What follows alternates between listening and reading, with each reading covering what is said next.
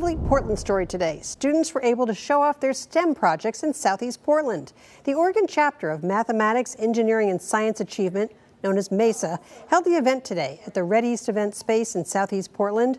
They hosted 200 middle and high school students who created projects for the theme Climate Action, Designing for Environmental Conservation.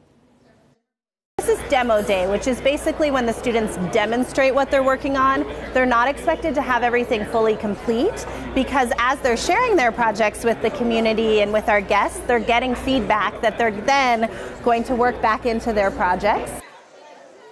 Now, MESA is part of Portland State University. It's an after school program that helps underrepresented students and gives them a chance to grow and nurture their STEM skills.